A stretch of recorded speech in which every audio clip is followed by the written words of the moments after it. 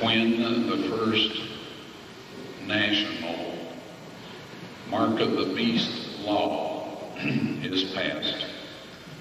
These are man-made laws that are contrary to God's eternal law.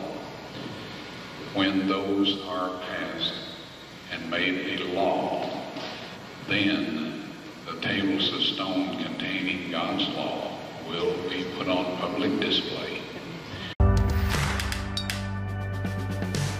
Archaeologist believes he's found the ruins of Noah's Ark. I would stake my life on the fact that I know where the Ark of the Covenant is.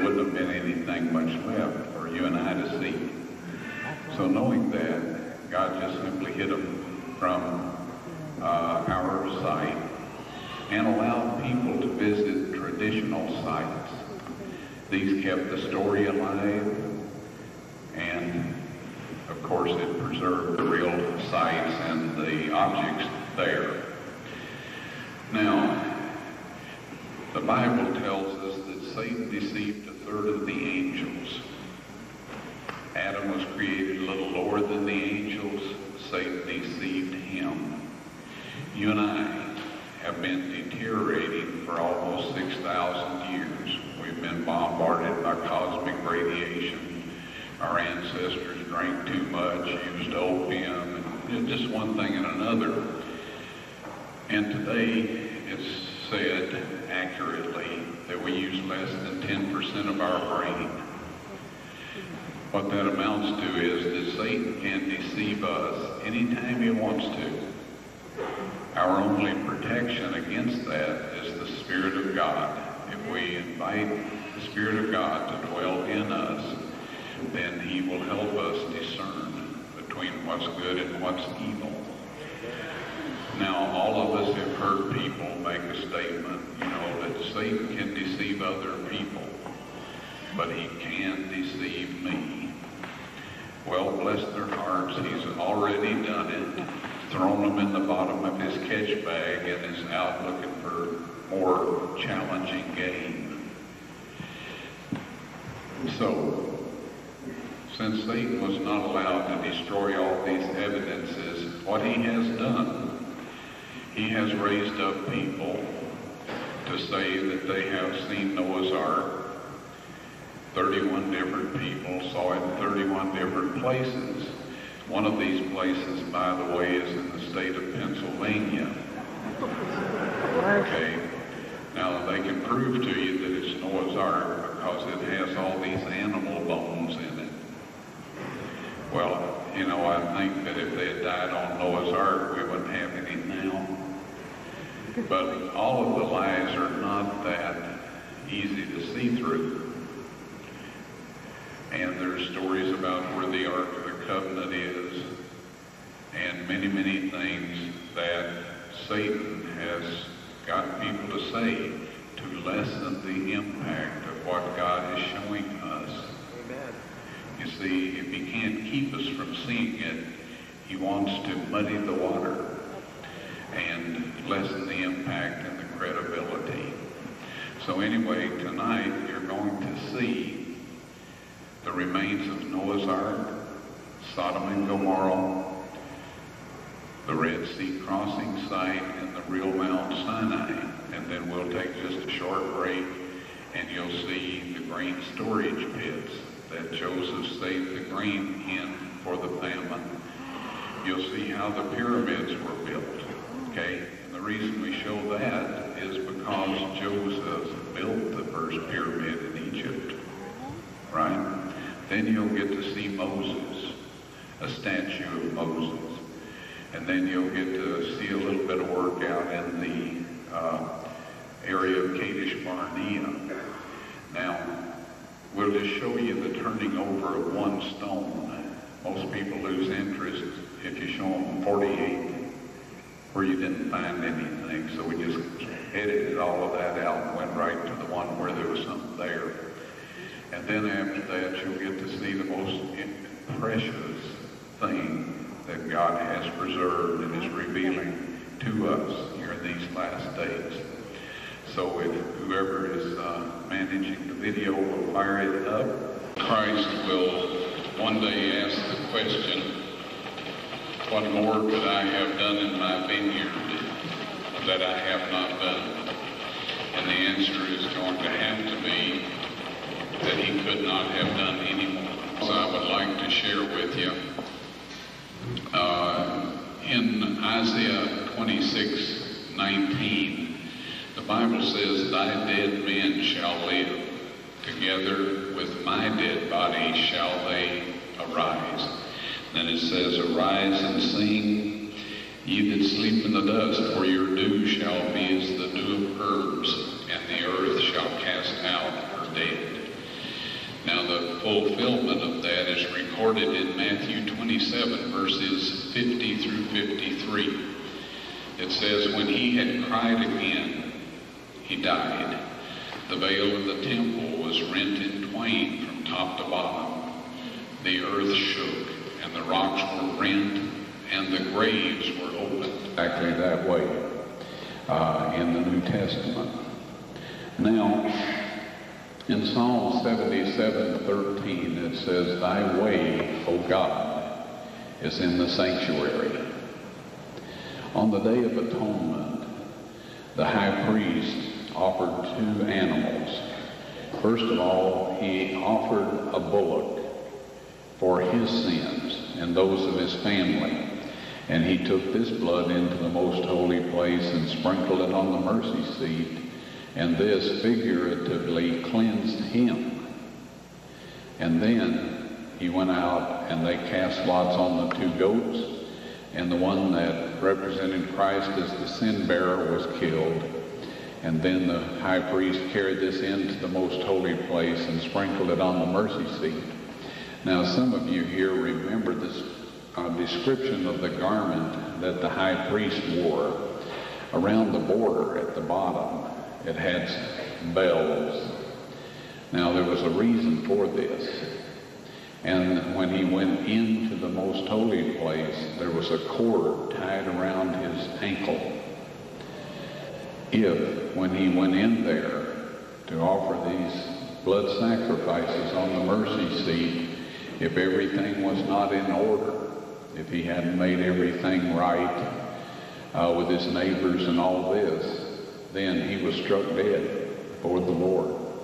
And they had to pull him out, his body out of there by that cord. And the way they knew when that happened was if the bells didn't keep jingling as he walked about his work in there, if they quit, then they knew that he had died. So the point of this is Christ as the true high priest. If his sacrifice had not been acceptable to God, he would not have come out of the tomb.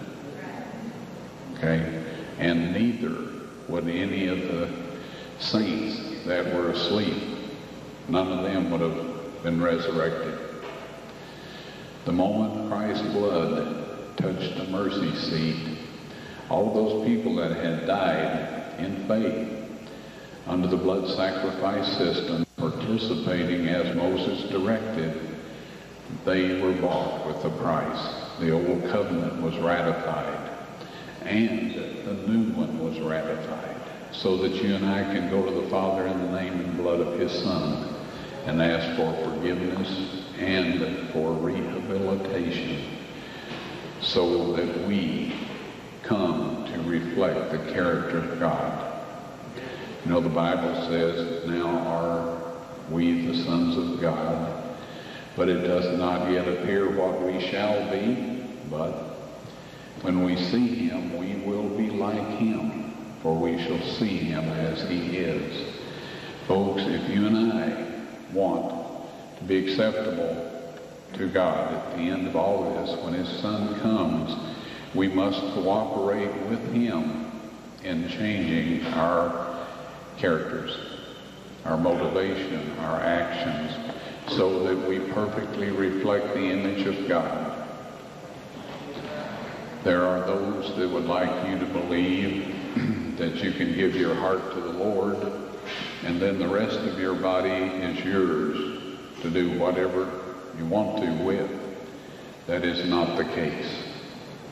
Everyone that sinned, and the Bible says all have sinned, is under a death penalty.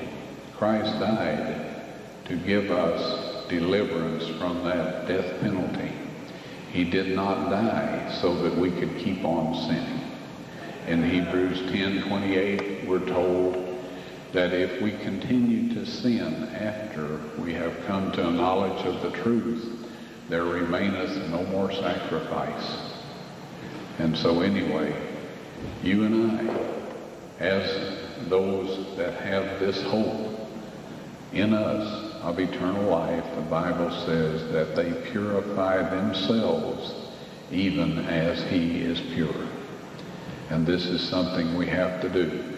If God waves a magic wand over those who profess to be his followers to cleanse them from sin at the last moment when Christ comes, then he has got to do it for everybody. You see what I'm saying? And God is no respecter of persons. So when somebody starts telling you that you don't have to worry about cooperating with God, in taking on the character of God and becoming perfect even as he is perfect. They're lying to you. And I don't care where they come from, what position they hold. They are lying to you. They're the servants of Satan. And they are trying to get you to be found wanting when Jesus comes. Now, there's a lot of people that tell us there has to be a third temple. And I'm sure some of you are asked this question. The Bible has an answer to any question that can come up about these things. And so if somebody asks you about a third temple, refer them to the first chapter of Ezra. Ezra, the first chapter. It says there, that the word of the Lord by the mouth of Jeremiah the prophet might be fulfilled. God moved upon Cyrus, and he issued a proclamation and put it also in writing that the Jews should return to Jerusalem and rebuild the temple.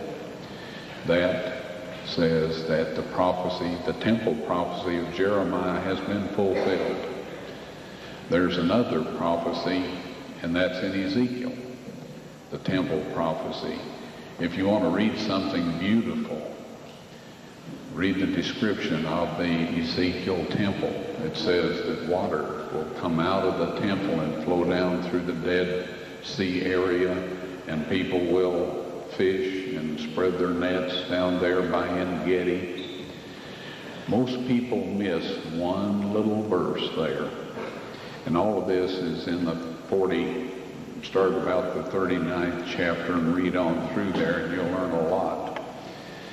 But after God gets through describing all of this to Ezekiel through the angel, he makes a statement. He said, if they are sorry for the abominations that they have committed against me, then show them this. They were never sorry for their abominations. They just added more abominations. And so they never received the fulfillment of what God would wanted to do for them. And you remember on the Mount of cursing and the Mount of blessing, Mount Gerizim and Ebal. He said, if you will keep my commandments and my statutes, then will you be the head of the nations, and the wealth of the Gentiles will flow in unto you. On the other hand, he said, if you refuse to keep my statutes and my commandments, then you will be the tail of the nations and not the head. He said, I will draw out a sword after you, and I will scatter you among the nations, and you will become a byword and a hissing to the nations round about. And folks, that's what happened to them. You and I are modern Israel. We can suffer the same fate as those people did. We can become self-righteous and condemning of others. And God says this, if you don't love your brother who you have seen, then you do not love God whom you have not seen. We have to be not critical of our fellow human beings, but we have to pray for each and every one of them. If you remember, Job's problems only ended when he prayed for those three men who had been picking on him at a very unhappy time in his life. And so it will be with us, folks. We have to reflect the love of God so that people will see him in us. And Christ says, I, if I be lifted up, will draw all men to me. Right? Now, God created us male and female, the Bible says. But in the Bible, he uses the name of the species, man. He's not leaving the ladies out there. He's just speaking the, using the term for the species. Folks, God has poured out all of heaven for us in his Son. When Christ's blood went on the mercy seat, when the Son of God gave his life for us, he gave us everything. All we need to do is ask. But we should not ask amiss. We should ask for blessings that we can share with others. And God will bless us. When I was a young man, witnessing and uh, that sort of thing was one of the most difficult things that I could attempt to do. I hated that. I'd do almost anything to keep from having to do that because I didn't know what to say to people. But God has changed all of that. He has provided this wonderful stuff that you saw tonight. And everybody wants to see that. Very rarely is there someone that don't want to see it. There are a few people that have listened to the lying lips of others and they don't bother to come see for themselves. And so they miss a great blessing that God has for them. Anytime God is providing a blessing for his people, there will be those who rise up right out of the ranks and tell bald-faced lies to try to assassinate the character of the person that God is using to share these things with people. Dumb enough, if you'll pardon my saying so, to let these people turn us away from looking for ourselves, then we have allowed Satan to steal away the precious gifts of God. And of course, you folks came and saw and have been blessed. God wants us to use these things. One time I was out in Broken Arrow, Arizona, or Oklahoma, yeah. And there was a man in the audience. We'd been talking for a bit, you know, like now, and getting ready to ask some questions or allow you to. he stood up and he said, well, Mr. Wyatt, you're wasting our time and yours. We believe all of this. We don't need the stuff you've got. And uh, the pastor had mentioned that there was an individual that would be there that had a little different opinion about some things. And uh, I said, sir, I understand that you're a pediatric neurovascular surgeon. And he says, yes, I am. Well, there's about eight of those around, so that's pretty spectacular job. And I said, well, sir, when you can go into the hospital and in the name of Jesus heal those children without laying a knife on them, then you come back to me and tell me you don't need this, and I, I may listen. But until that moment, you need it, and I need it. We all need it, or God wouldn't have given it to us. He dropped his head and he said, I'm sorry. He at least, you know, admitted that he had made a mistake. So folks, none of us are too clever or too much of a Christian to not need what God provides for us. And today, when thousands of people are out there telling thousands of different stories to people, we don't want to be just another voice in the crowd telling somebody something when God has provided very convincing evidence that we can show them, right? Now, there's a prophet that said, and I quote, the workers will be surprised at the simple means that God will use to finish his work. There's nothing more simple than show and tell. But there is nothing more effective. And so that's what God is doing here in this last days. He's providing this. And in Jeremiah 16, 19 through 21, it tells us that all of the Gentiles will come, or the Gentiles will come to him from the ends of the earth and will say, Surely our fathers have inherited lies and vanity and things wherein there is no profit, and have made gods unto themselves that are not gods. Can you imagine what it will take to get somebody to admit that their parents have been wrong and they have been wrong? Human beings don't like to admit that. So these are the things that God is going to send around the world so that people can see with their own eyes as well as hear with their own ears the truth and the proof that God's Word is exactly what he claims it is. And, folks, there are a lot of people today on this planet that disregard the Word of God. How many times have we said, heard somebody say, well, the Bible seems to say this, but I believe something else. Well, a lot of those kinds of people looked for these things that you saw today. And where they went, there was nothing to find.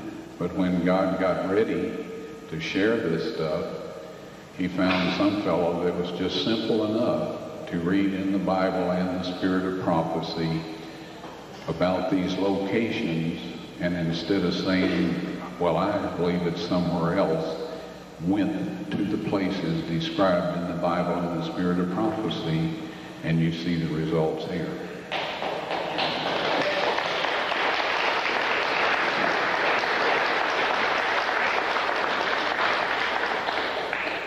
Revelation 12, 17. And the dragon was wroth with the woman and went to make war with the remnant of her seed who keep the commandments of God and have the testimony of Jesus Christ. Folks, we should be among that group, and I suspect a lot of those that I'm, you that I'm talking to today is.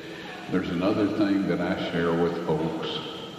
Amos 3 7. or 3 6, sorry. I am the Lord, I change not. Therefore, ye sons of Jacob are not consumed.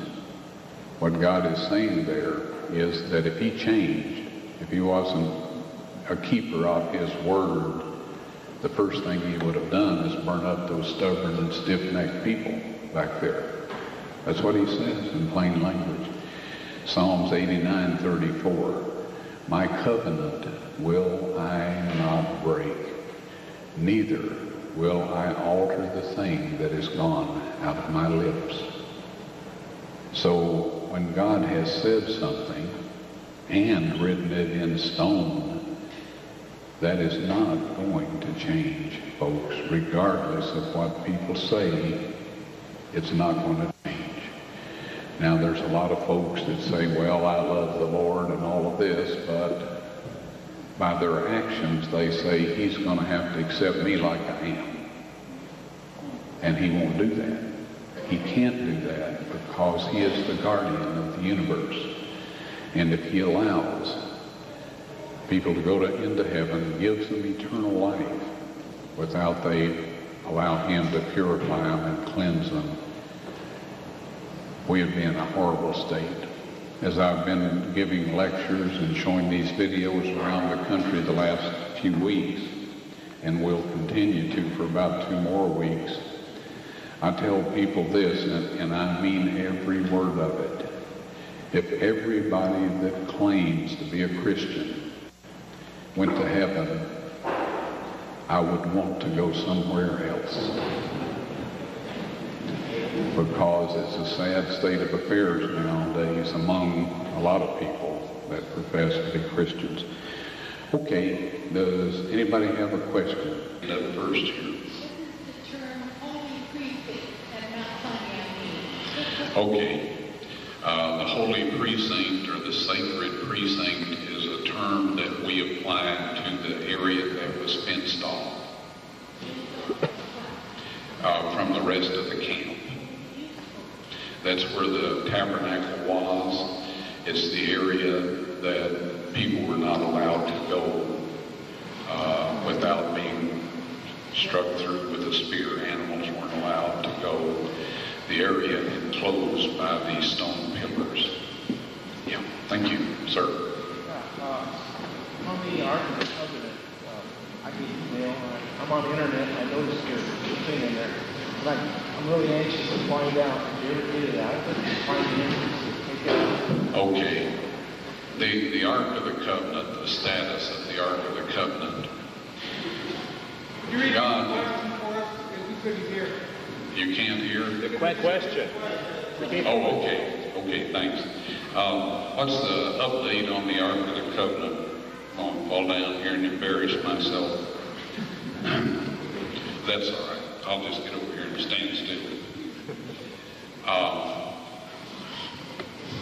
in Ephesians 1 8, I think it is, somewhere in there, it says, In the dispensation of fullnesses of times, God subdued all things unto himself through Christ Jesus.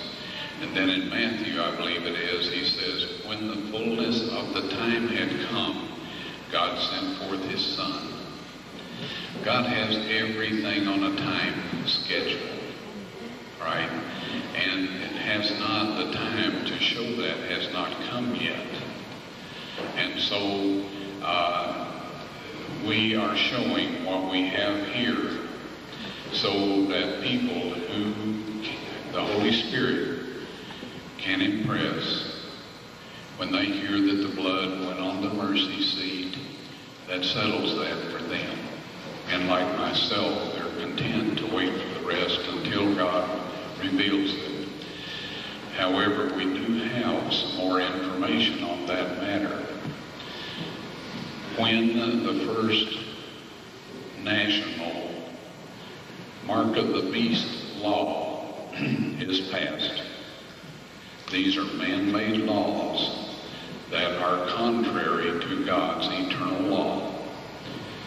When those are passed and made a law, then the tables of stone containing God's law will be put on public display and it will be explained to everyone on this earth that we have a choice.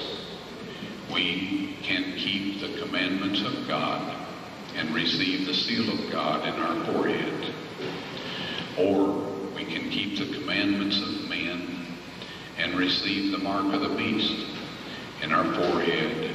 Or we can know better, but just go along with these laws until a more convenient time and receive the mark in our hand. Anyway, that will be made very clear at that point in time.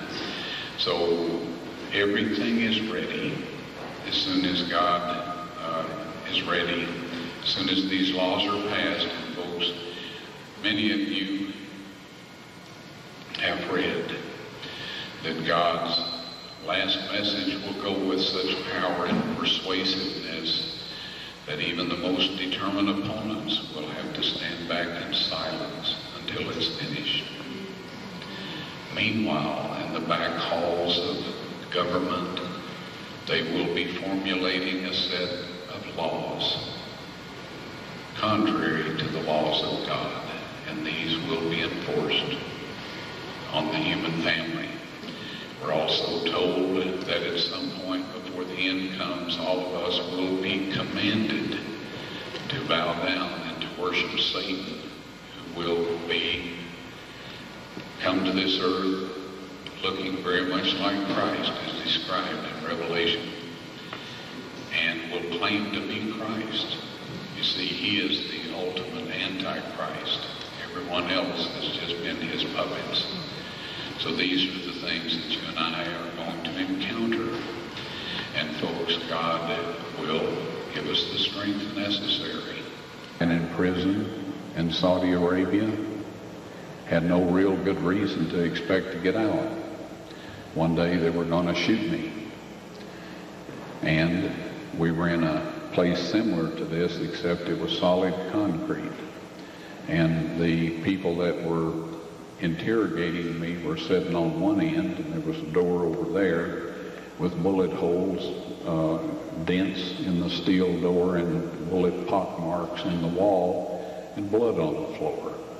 They brought me in from over this way and asked me a few questions, one of which was, we can have 10 men or more, and the Israelis only have one. And we can have 10 tanks or more, and they can have just one. But yet they always win. And they said, why do you suppose that is? How would you like to have been there? Asked that question with a couple of guys with AK-47s with the 60 bullet clip. I didn't enjoy it at all. But I remembered that God said, take no thought of what you shall say. And I said a little silent prayer, and the perfect answer came. And that perfect answer was, I don't know why God allows that. 21 mouths fell open and their eyes bugged out. They thought they had me. I thought they had me. See, they were looking for a pretext to kill me. You remember that's what the Jews did. They were trying to come up with some pretext to crucify Christ.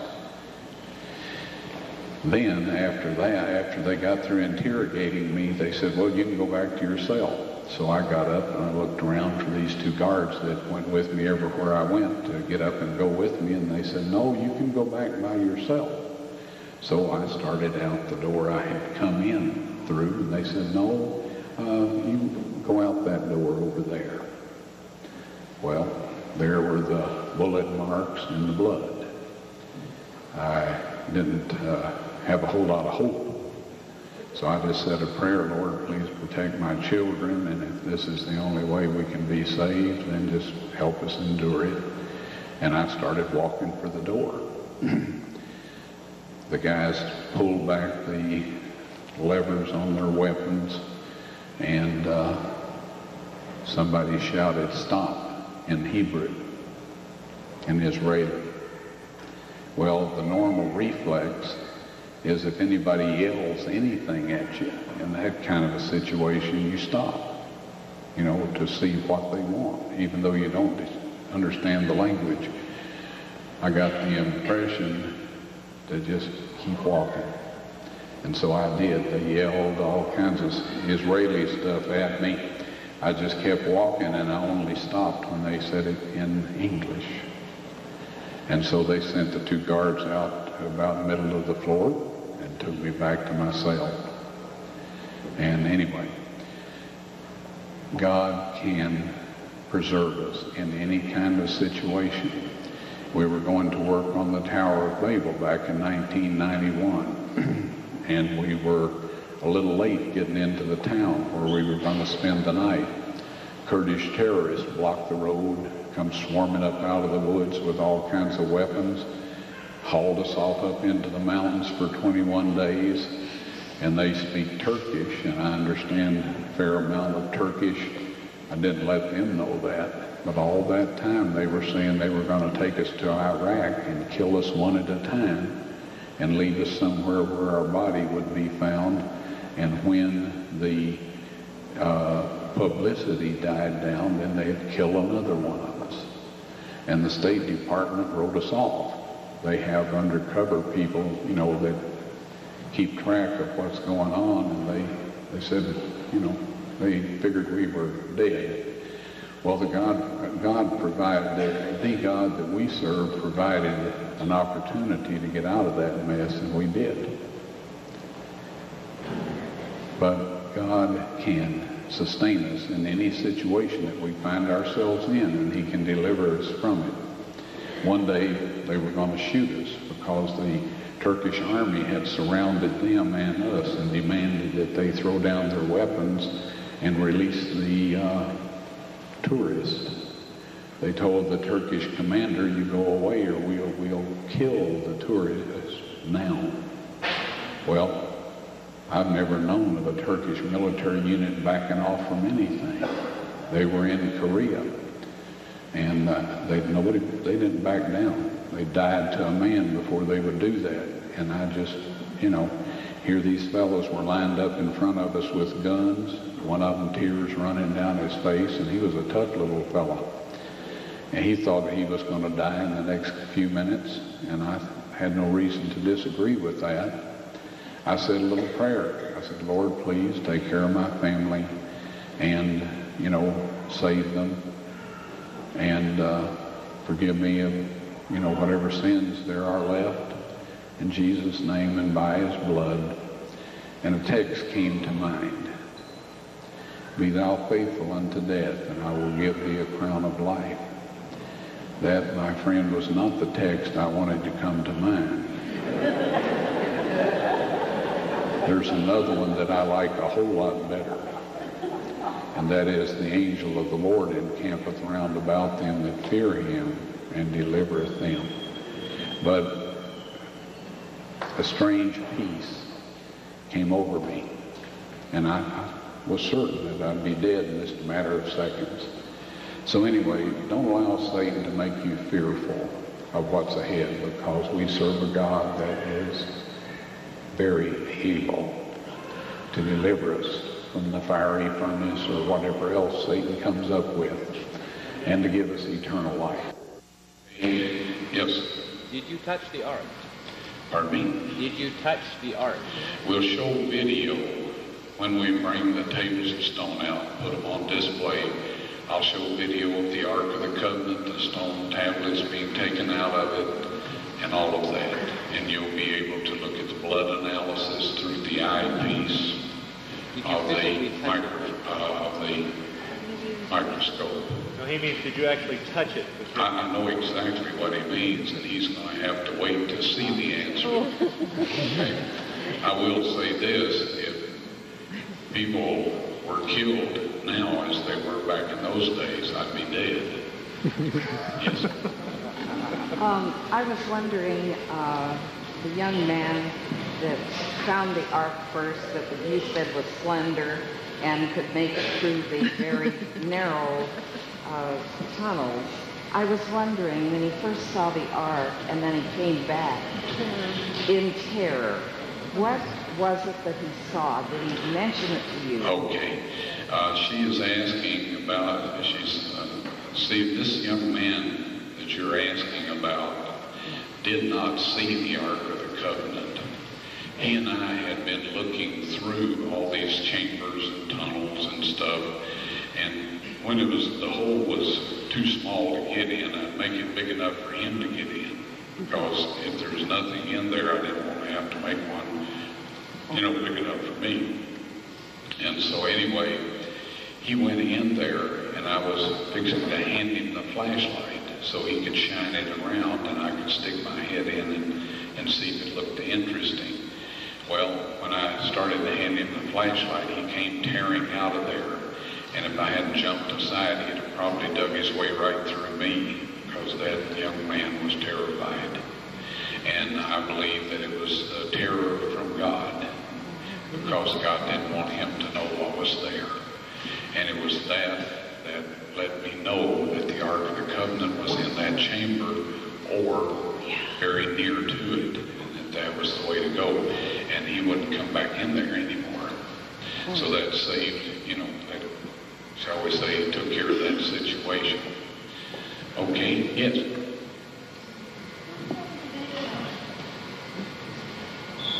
Who filmed the video? Who made the video?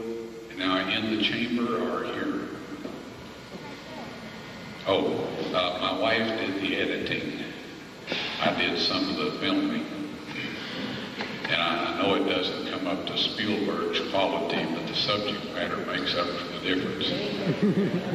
Okay, yes. Can you tell us, are you going to be anywhere on the West Coast in the next two weeks where you're going to be at Planet? Uh, well, we are actually finishing up on the West Coast. She asked if I was going to be on the West Coast. We may very well come out to uh, uh, Paradise area uh, after we finish the rest of this uh, tour. We're obliged to finish it until about the 2nd of May. So after that, we may very well come to that area. And what we do, we ask the Lord to help us know he, who He wants to see this stuff. We don't call people and ask them to show it to them. Because God knows where everybody is and who will benefit by seeing it. And so anyone that calls us and sets up a date uh, and will pay for a round trip airfare and an inexpensive motel room, take up a love offering, and give me an opportunity to sell the materials to those who want it, uh, then we come and do the program. And uh, doesn't matter where it is, you know, those things. Anybody else here? yes, sir. Have you already discovered the of habit? Have I already discovered the tables of stone of the Ten Commandments? Yes, sir. Yes, and those will be put on public display right after the Mark of the Beast law is passed. There will be three different laws. One will just tell you that you must keep this law defies God's law, and uh, people will get around that. Then there will be a law that if you don't submit to that, you can't buy or sell. Of course, all of this is in the book of Revelation. And uh, so after the first one, we'll bring that out so that everybody will have a choice of whether they will serve God or whether they will, you know, serve man. And uh, then I believe that shortly after that, probation will close, Christ will come, and it's over as far as the righteous being under the gun as we are today. Yes. What degree of acceptance or rejection have you found from the biblically uh, oriented archaeology community as a whole in each of these areas of finds? Well, uh, what degree of acceptance or rejection have I experienced from the professional archaeology area or arena? Uh, not a great deal of acceptance. Uh, you know, I don't know if you all saw this or not, but a few years back there was this cute little lady that did a commercial for Hanes underwear. And she grabbed a hold of them and pulled them this way and that and yanked them around for a bit. And she said, they don't say Hanes until I say they say Hanes. Well, a lot of these archaeologists are of the opinion that until somebody with a few PhDs and things like that says this is whatever it is, that it really isn't. But it's my firm belief that most everybody has enough intelligence to recognize when they see ash cities and sulfur balls and chariot parts in the Red Sea and the remains of an ancient boat. Uh, you know, I don't need some archaeologist, a professional archaeologist to tell me what I saw. Amen. And I don't think you do. And God uh, passes by the wise and the prudent reveals himself to those who are not. And I'm taking some liberties with that quote. But anyway, God wants everyone to know that it's something he's doing, not something some clever person is doing. Thank you. Okay, yes ma'am. Uh, in whose possession are the tables of stone? Well, the Israelis think that they have full control of this situation. But I think everybody here knows who it is that has full control of the situation. Amen. It's not me either. It's God. But uh, they will be put on display. And a prophet of God said that would happen. And now it's ready to happen when God's ready. Okay? Anybody else back there? Oh, sorry, I didn't see you.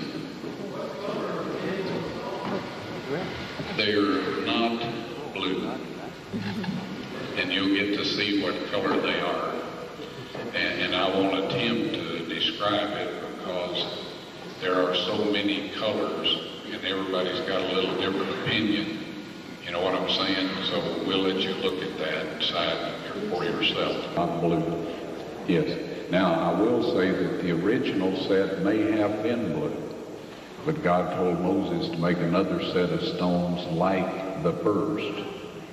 And so that's the set I've seen, and they're not blue. So I must conclude that most likely the first set wasn't either. Yes.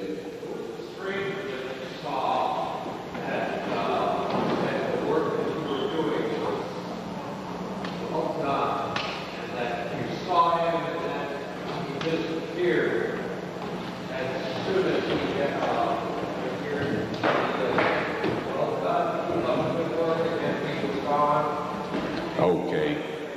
All right. I'll uh, answer that one. That'll be my last answer. Okay. Yes. What did you feel like when you found the ark? Okay. Uh, I had seen the cutouts. I had seen this crack down the whole face of the cliff and along the left side of the crosshole.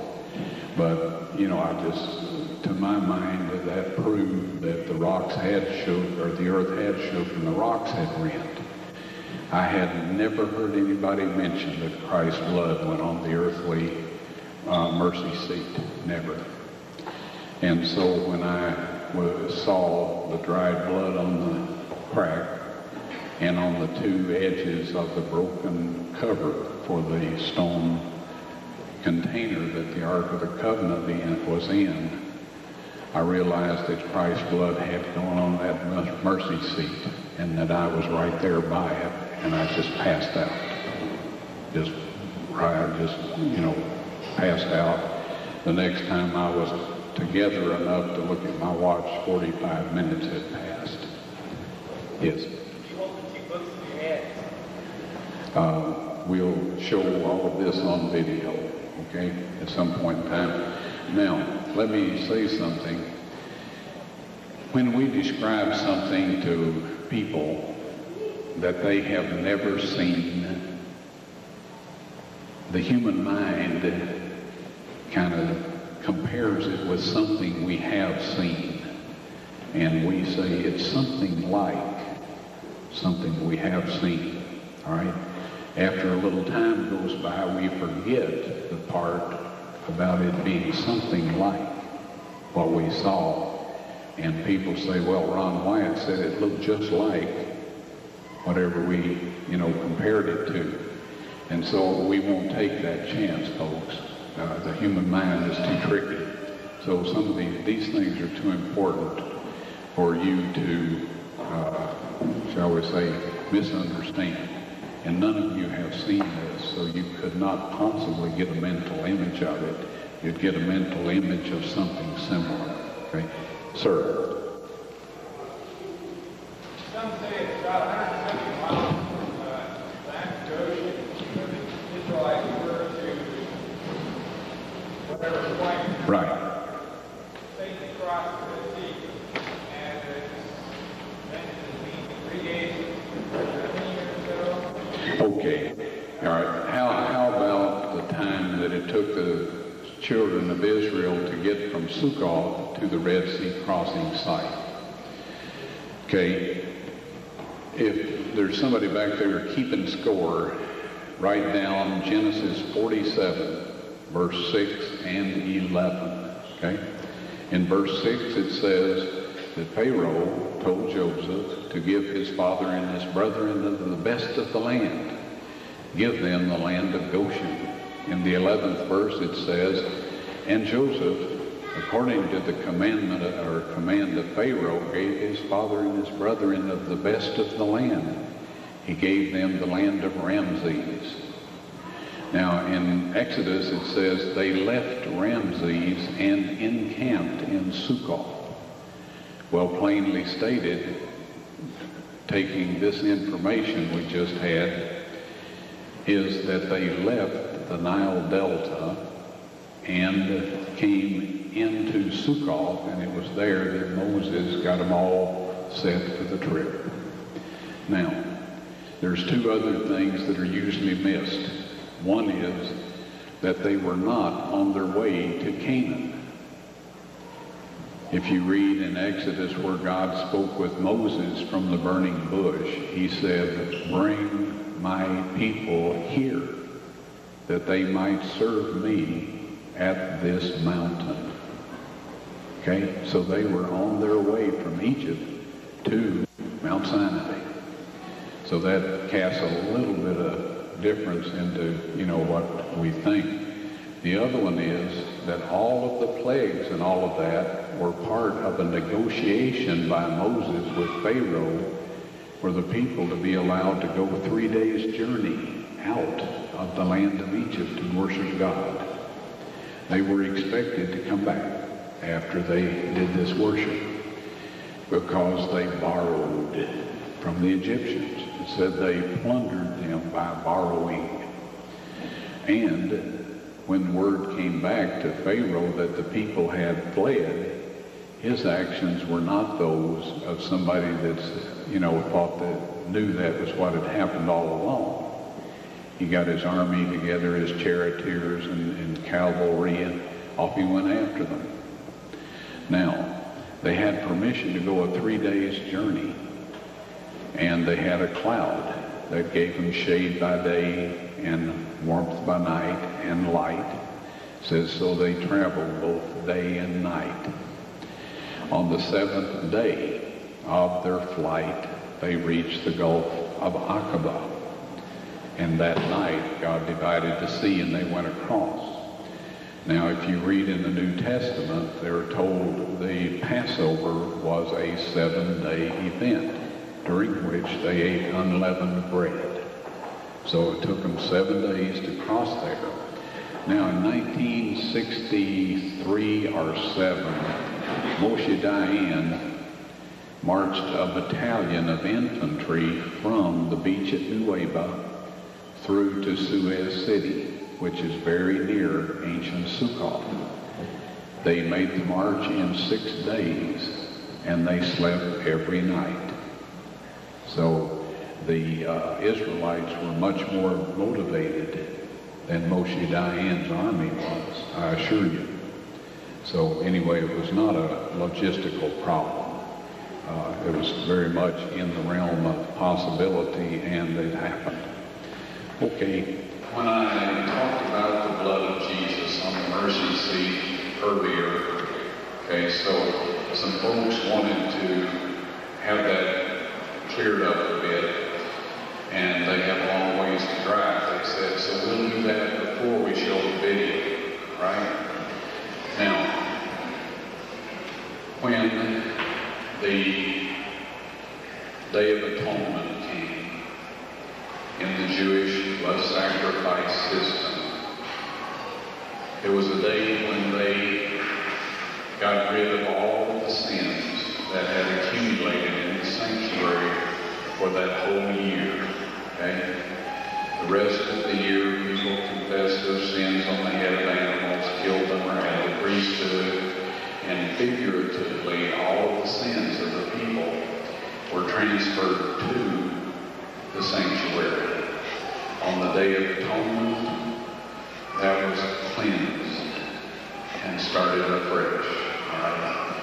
Actually, no sins were cleansed until Christ's blood touched the mercy seat, because the rest was types and shadows. But it was ceremonially clean.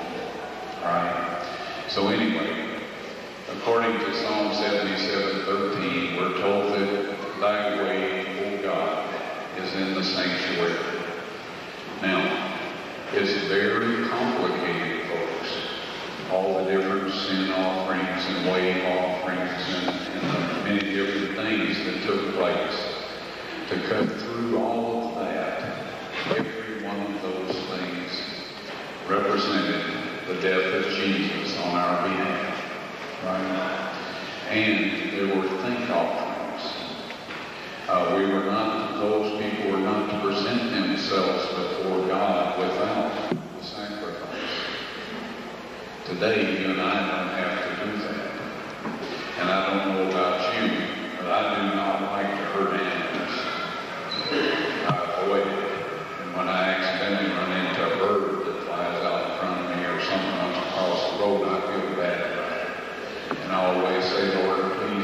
quick to this here on earth so that there will be no more suffering. So I think if I had lived back in those days, I would have been very careful to avoid sinning because I would not have wanted to have had to kill our king. That's what I think, but I was not there, so I don't know. Anyway, on the Day of Atonement, the high priest offered a vote for his own sins and those of his family. And he sprinkled that blood on the mercy seat. So that got rid of his sins. And all these were transferred into the sanctuary.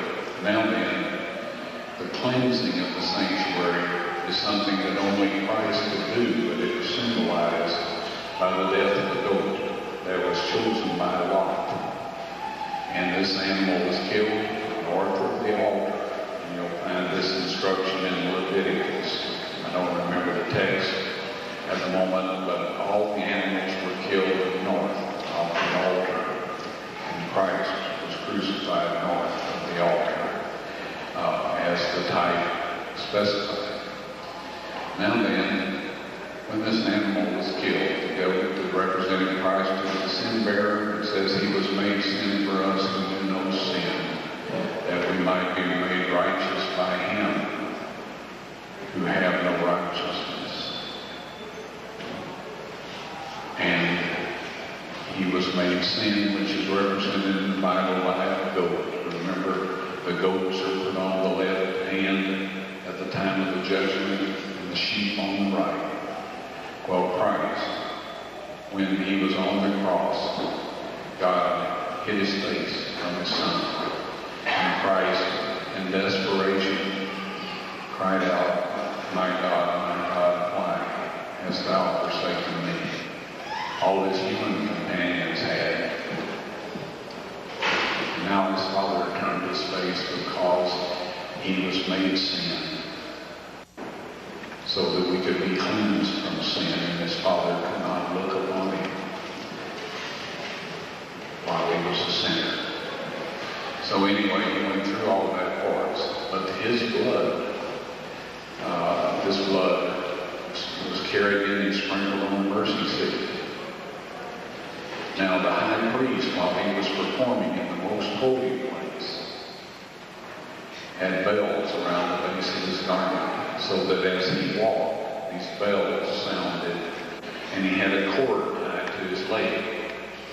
And if these bells quit ringing for any period of time, the people outside knew that he had died because everything had not been in order when he offered the blood. And they, of course, would then pull him out by this cord. And after all of this, he came out and placed all of the sins of the people on the scapegoat.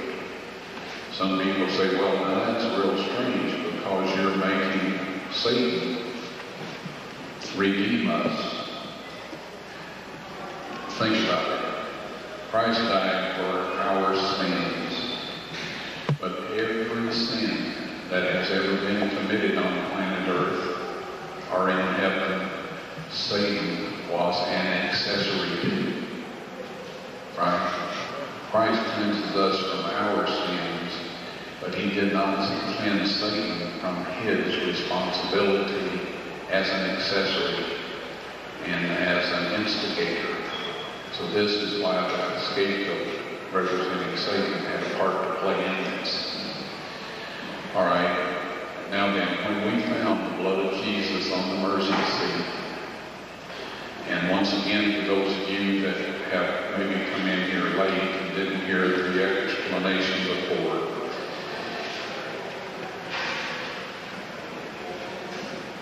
Christ was crucified directly above where God had good men, godly men, hide the Ark of the Covenant in 586 BC, just before the temple was destroyed by the Babylonian army.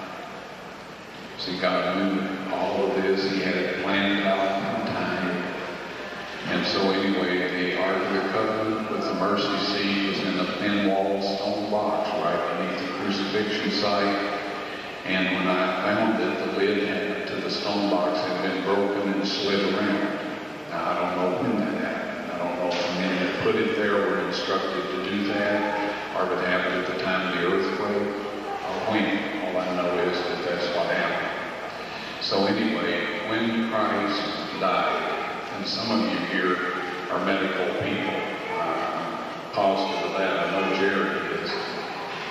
The spleen is under the fifth rib here on the left side. And the Bible, if you look up the smoke in the fifth rib, you'll see that that was a death blow. Today, if your spleen is ruptured, if you don't get some help very fast, and it's a big rupture, you know, it's a little leak that you can survive that. If it's really done like a sword or a spear would do it, uh, you're dead.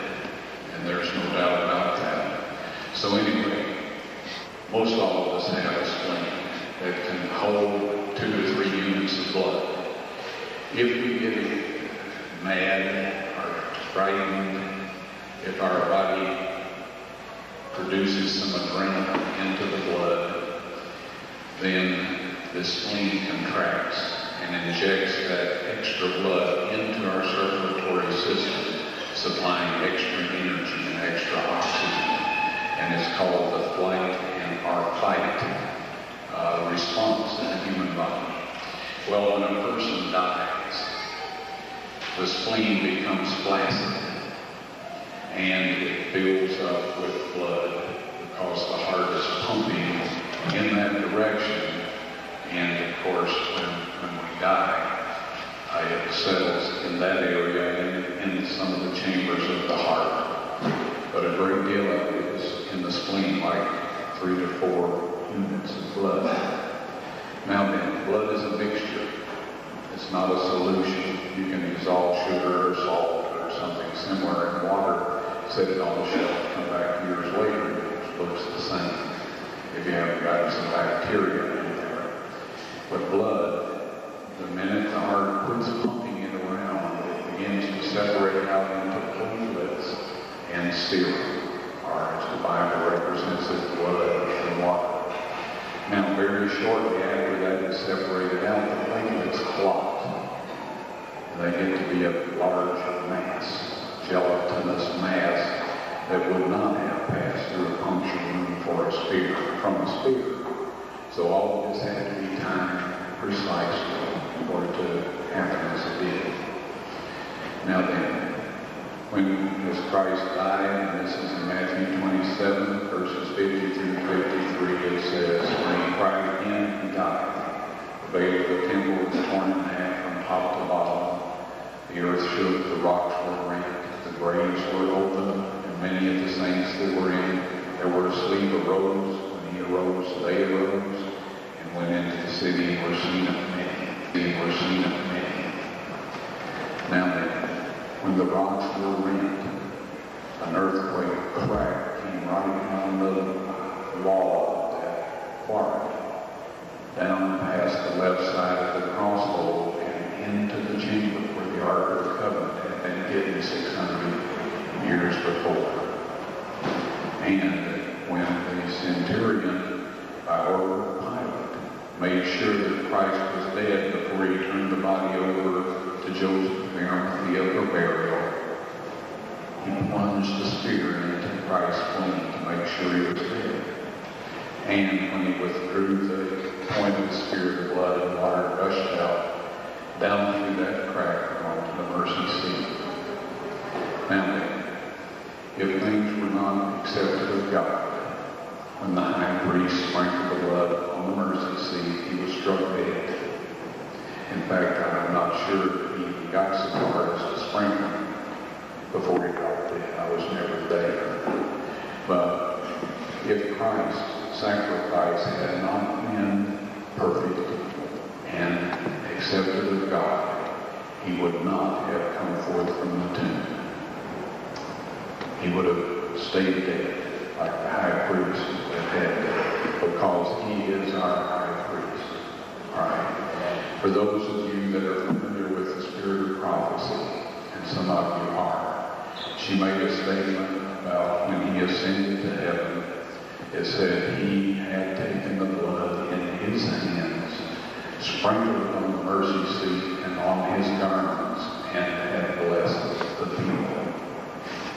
Also, if his sacrifice had not been acceptable to God, there would have been none of the saints that were asleep come out So this proves that that Christ did it, it was perfect, and was accepted of God. So we can in confidence go to the Father in the name and blood of Jesus and ask for forgiveness and cleansing and to be made like him so that when we meet him face to face, we won't be struck dead for the brightness of his coming. Now, when we found this blood on the mercy seat, I have been strongly impressed to be very thorough and careful about documenting things. The blood of Christ on the mercy seat above everything else had to be done perfectly so nobody could come along and find fault with reason. Some people find fault where there is no fault or no reason. Those you can't help. Right? But anyway, we took a sample of that blood. Uh, all I had at hand to do this with was a pull tab from a Coca-Cola can and a plastic uh, film cartridge. Right? That seems undignified and certainly, uh, you know, unworthy. But folks, what would have been worthy to receive the blood of Jesus? Upon analysis, it was found that in this blood there was 24 chromosomes. All of us have 46. We get 23 from our mother, we get 23 from our father. The mother produces the X sex determinant factor. She cannot produce the Y. But the father is the one that decides or determines the sex of the child. And so anyway, if he produces a Y, X, and you have an X from the mother and an X from the father, then it's a female child. If the father provides a wife, then it's a male child. Okay. What we have is a situation where Christ received 23 chromosomes from his mother. He received one Y, sex determinant factor from some source other than a human male. And I am positive that this came from his heavenly Father. Okay. Amen. So this will be shown to the world when we can show the tables of stone and the power of the Holy Spirit we're told by Mrs. E.G. White. And by the way, folks, if you wonder how I found all of this stuff, with the exception of the Ark of the Covenant, I found every one of these places by putting the description the Bible gave of their location together with the description that Mrs. E.G. White gave of these places and patriarchs and prophets. And folks, if you don't know about her writings, Amos 3.7, surely the Lord God will do nothing except he reveal his secrets through his servant the prophet. Christ did not say, don't believe any prophets after I'm gone. He didn't say that. He said, beware of false prophets. And Paul said, quench not the spirit, despise not prophesying, but prove all things and hold fast that which is good. If we have reached the conclusion that God will allow this world to end and us to go through the closing events without giving us some additional helpful information before these things happen, then we are naive about the way God works. Right? So anyway, if you want to know what we are about to experience, get the great controversy written by E.G. White. If you want to see how I found these places and how closely they match her description, get patriarchs and prophets. Now then, Satan has started a massive lies to muddy the water about these things that God is showing us, right? But God will cut right through all of that. As his wife says this, that he will draw back the curtain, the blindness, and all of that. And every man, woman, and child will see the truth and recognize the truth. And then what they decide to do about that truth will determine their eternal destiny. There's not one of you here that will not see God's truth. And it's up to you whether you keep it, whether you love it, and go to the Father in name and love the Son and ask that He help us become like Him, or whether you reject it and say, well, I don't believe it or whatever, when you know better. See, lying lips are an abomination to God. Have you ever tried to have any kind of relationship with a liar? You just can't do it. There's no way you can do it. And the same is true with God. He cannot deal with liars unless we're willing to get over it. Then he will help us get over it. So anyway, you and I are living the last moments of Earth's history, folks. If we are physically unable or emotionally unable to pass through the events ahead, God will allow us to sleep through these final events. He says, come enter ye into my secret chamber and until the tempest is overpassed. Those of you that are able to do this are God, with God's help, are able to do it.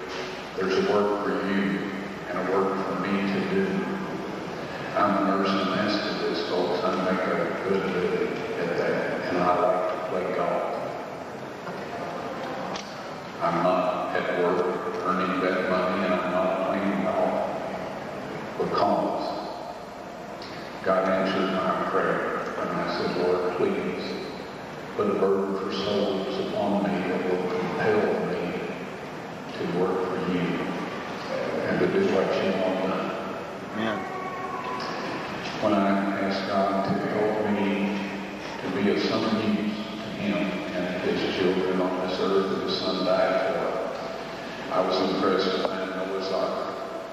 I've seen a picture of it in Life magazine and read Renee Noorbergen's book on it, and I had done enough research on the aerial photography and all of this that I figured that was Noah's Ark. But I had to go out and take some samples and, you know, go through the proof. But that was my highest ambition. I had no inclination that I'd be doing anything beside this within one year. I knew where Noah's Ark was.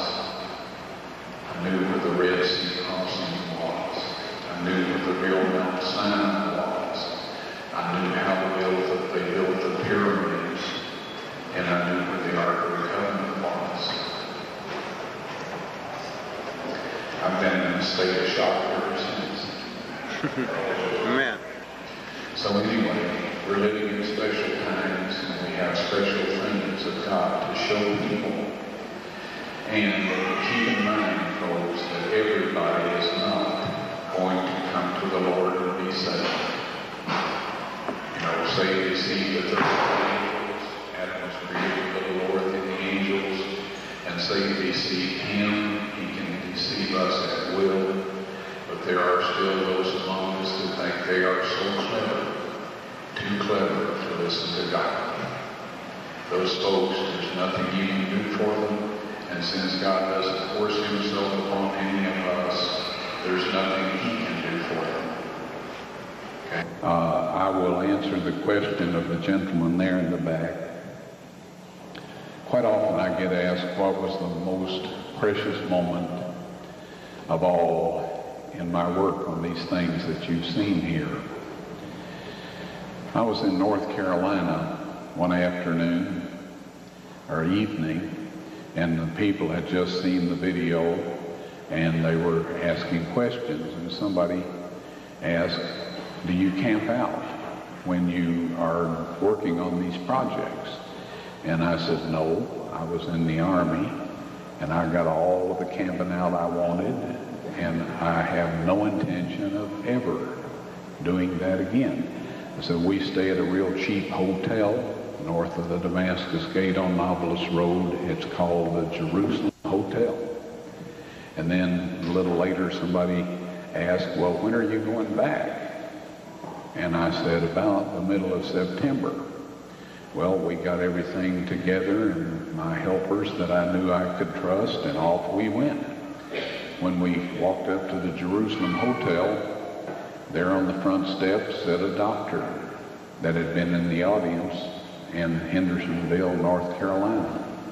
Uninvited, unwanted, and I realized that I had spent all this money to get over there to work on this, and I couldn't because this man could not be trusted. Otherwise, he would have at least asked before he showed up.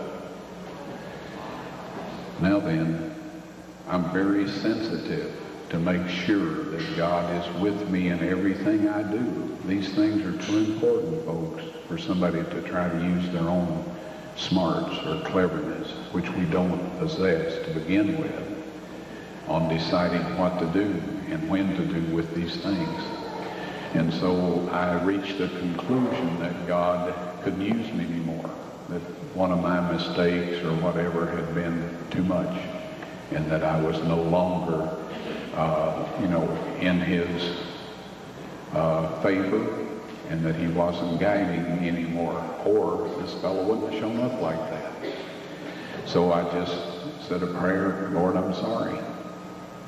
I knew to begin with that I was not worthy to do these things. I thank you for allowing me to do this much. And if I can be of any help to the next person, I'll be glad to do it. Well, I have never been more depressed in my life. And I've been in some pretty depressing situations. Saw the Ark of the Covenant, the blood on the mercy seat, and all of that. And then I was no longer useful to God. I couldn't continue. We decided to clean out the garden tomb of a bunch of trash and stuff that had accumulated over the years. And if you want to see where Christ was buried, go look in the garden tomb, because that's where. And the crucifixion site is approximately 80 feet from the garden tomb. I won't tell you any more on that until we can show it to you on video. But anyway, I had a fan that was kind of cooling us off a little bit because it was extremely hot and the fan died. And so, you know, misery on top of misery. Well, the doctor had been helping, and when the fan died, he got his lunch and he scooted back up under some shrubbery off to my right and uh, in the shade and was eating his lunch. And I was sitting flat on the ground trying to fix this uh, fan. And I had nothing to live for, people. Have you ever been in that situation? Anyway, I heard this voice say, God bless you in what you're doing here. Well, the owner of that voice knew everything that I was doing. And I could tell by the way he said that. And I was shocked because there was not supposed to be anybody there that knew that. And I looked up.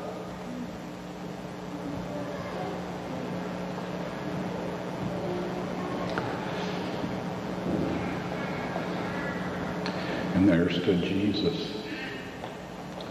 I wasn't having a dream or a vision because afterwards the doctor piped up and said, Ron, do you suppose we've been talking with an angel?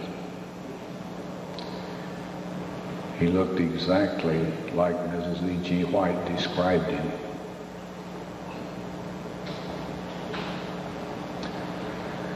Tall, dark hair, dark beard, dark brown eyes, rather light complected for those, you know, for dark hair and dark eyes.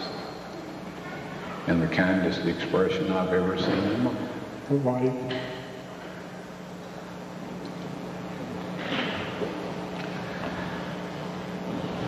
And I, I knew it was Jesus.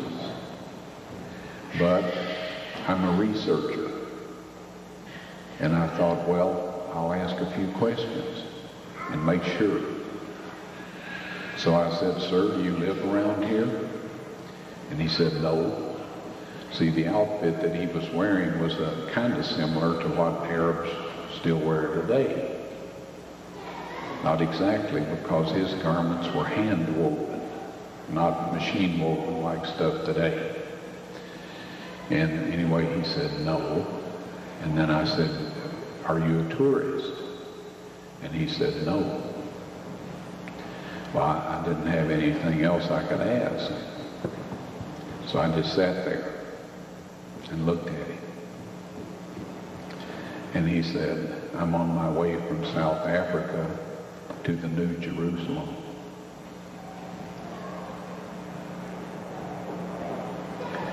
You remember Jacob's dream? He was a little ways north of Jerusalem and he saw the stairs and the angels ascending and descending. And he said, this is none but the gate of heaven. Christ on his way from South Africa to the New Jerusalem. The prophet says that that is the gateway to heaven. Now then, I just sat there because I didn't know what to say. I was dumbfounded. I'm not even sure I was breathing by then. He looked at me again with that kind expression and said, God bless you and what you're doing here. That, folks, was the most precious, precious moment of all of this and the most precious moment of my entire life. I hope that an even more precious moment will come for all of us when we can look into that wonderful face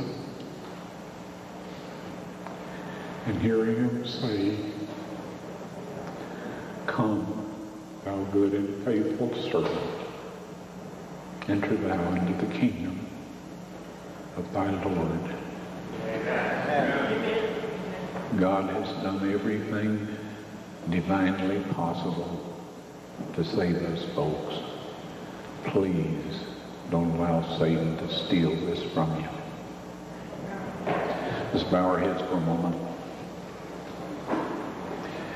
Dear Heavenly Father, we thank you for what you've done for us. We thank you that you love us. We don't know why you do, but we appreciate it.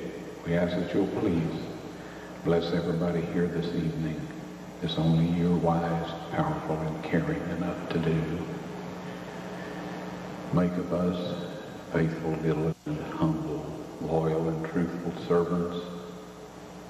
Help us to lift up Jesus that others will be drawn to him and be saved. And please don't allow anyone to be lost that you can use us in any way to help them come to you and be saved. In Jesus' name and by his precious blood I pray.